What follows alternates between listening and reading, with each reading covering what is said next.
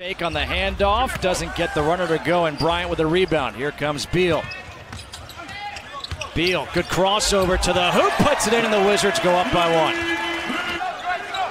He's got the mismatch against Drummond. We'll take him off the dribble, stop and pop.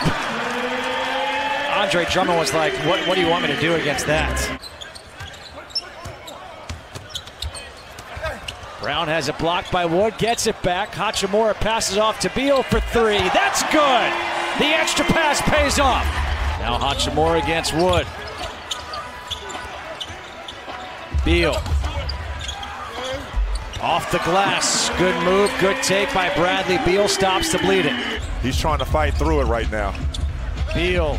Short gets his own miss and puts it off the glass.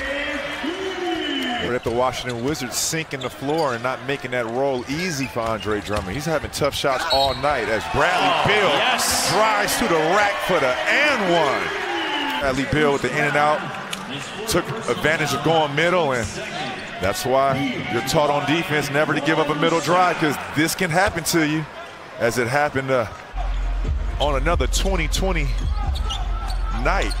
And if he does do that, as Bradley Beal hits a teardrop in the paint. He's also got seven rebounds, five offensive.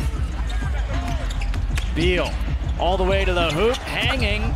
The tip is good. Both he and Bryant raise their hands.